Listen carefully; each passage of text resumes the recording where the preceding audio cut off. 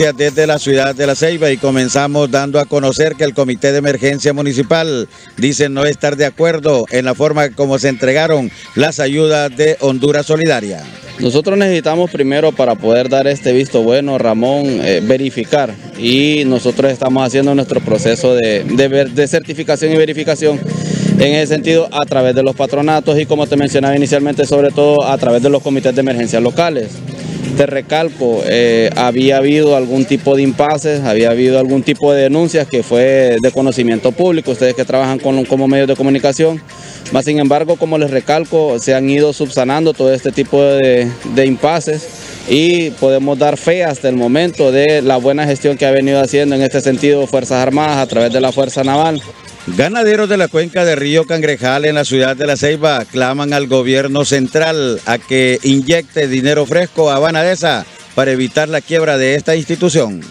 Estamos verdaderamente pidiendo que por favor nos, nos den la oportunidad de trabajar, pues queremos seguir produciendo.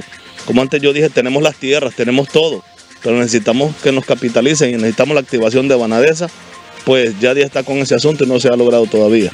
¿Quién va a confiar irse eh, a la banca privada? En este caso Banprovi. Pues si para eso tenemos Banadesa. Es más, Banadesa tiene toda lo que es la plataforma ya lista. Tenemos todo listo para empezar a trabajar de inmediato. La verdad que sí, Maldonado, la, la idea es seguir produciendo, pero sin, tener fondos es difícil que, que, le inyecten fondos frescos a Banadesa para que nos pueda ayudar. Si el gobierno en realidad no nos apoya, esto va a ser un estallido social. ¿Verdad? Porque nosotros justamente, yo creo que en 15 días ya estamos en cero, en cero, ya no tenemos dinero ni para pagarle a los trabajadores, Entonces, eh, si el, si el gobierno no inyecta dinero fresco para apoyar las áreas productivas, esto va a ser un estallido social y que se preparen las autoridades para eso, para recibir un estallido social si no manda dinero al, al área rural. Que dejen de babosada ya de tener el área, el, área industrial, solo apoyar el área industrial.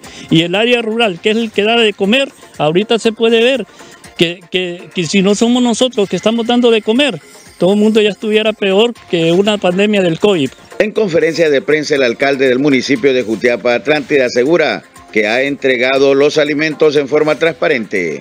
Pues a aclarar un poco a la ciudadanía, a toda la teleaudiencia, que nosotros como corporación municipal, en mi caso como, como alcalde, este, me caracteriza por ser transparente. Es la única promesa que hice en campaña política, de ser transparente a la hora de, trabajar en nuestro municipio. Es, cierto, los regidores nacionalistas están denunciando que nosotros no estamos trabajando con transparencia.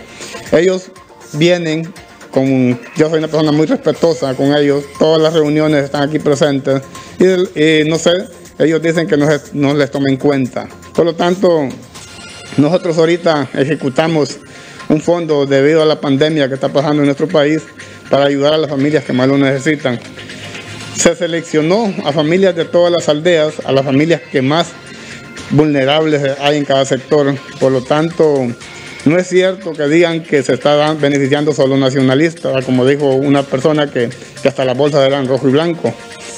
Y en este caso, nosotros, ah, el gobierno nos dio una alineación que, es CODEN, a través de CODEN, a través del veedor social y de los patronatos de cada aldea, que se identificara a las familias que más lo necesitan para poder llegar a ello. Este, no se está llegando solo a los liberales, no es cierto. Un informe desde la ciudad de La Ceiba, de su corresponsal Ramón Maldonado. Muy buenas.